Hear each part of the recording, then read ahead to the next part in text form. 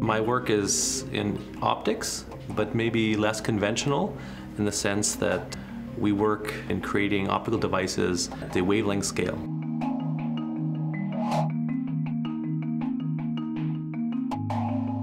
By playing games with geometry, we create new types of optical materials. And once one starts to have these new tools, you can explore all of these new ideas for how to manipulate light.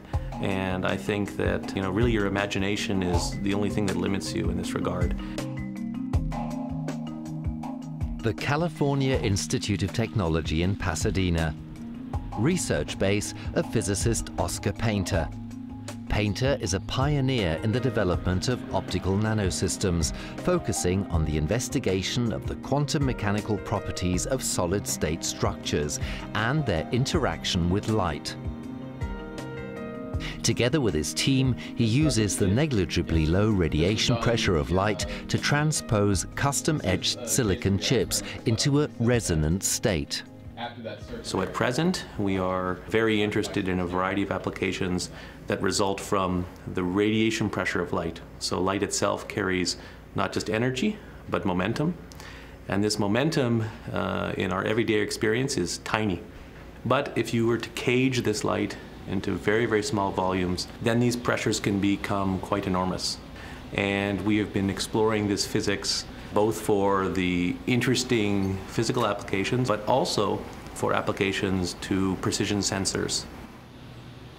What is special about the Painter Lab is that they don't only investigate nanostructures, they actually produce them.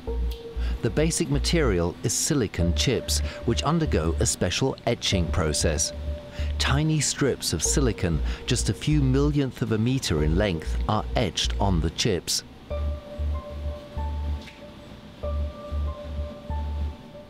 First of all, they are controlled under an electron microscope. In the minuscule perforations on the nanostrip, photons can be captured, causing the mechanical structure to oscillate.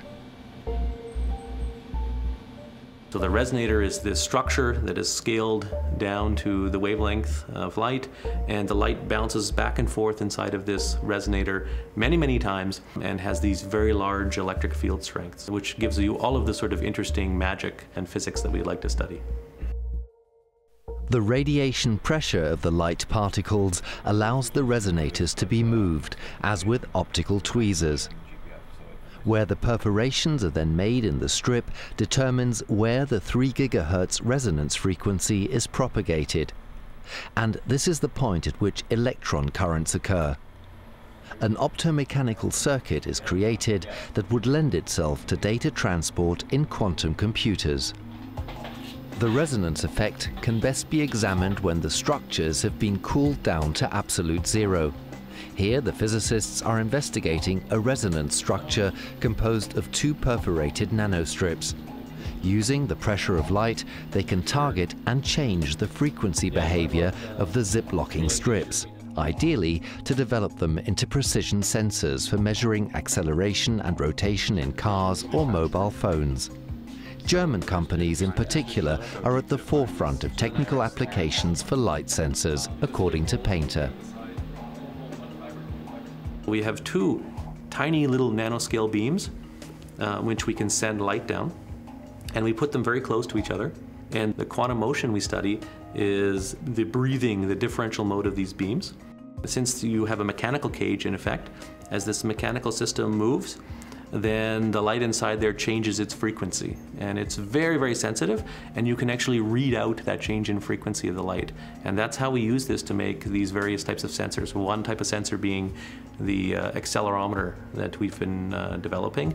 And these accelerometers allow us to measure accelerations that are one billionth of the uh, gravitational acceleration in one second. For his achievements in the field of optical nanosystems, Painter was awarded an Alexander von Humboldt Professorship in 2013. In Erlangen-Nuremberg, where the physicist will conduct his research, his arrival is eagerly awaited. The University of Erlangen-Nuremberg will benefit from the presence of Oskar Painter in many ways. First of all, in research, of course, because he ideally amalgamates the linkages between the engineering sciences, fundamental physical sciences, material sciences, and the Max Planck Institute for the Physics of Light. And together with his group in Pasadena, he can now transfer this knowledge in the various areas in which he is a world leader to Erlangen. Dieses Wissen nach Erlangen transferieren kann.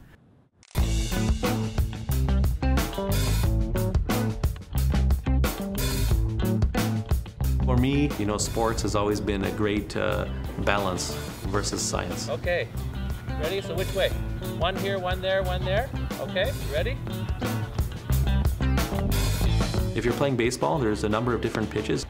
So uh, this is what my son and I would do when I was teaching him is he was very interested in why the ball would curve down in certain instances and curve away.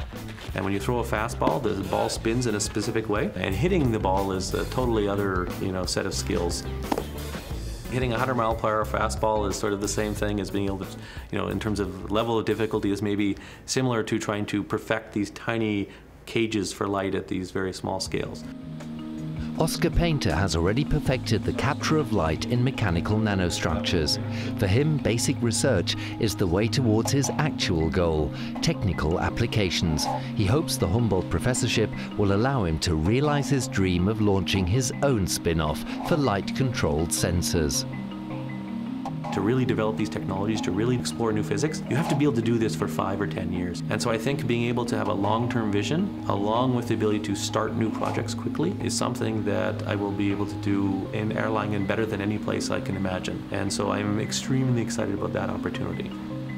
By utilizing these new tools, we can explore completely new regimes in which light behaves. And so for me, this is a sort of a never-ending exploration and is very, very fascinating.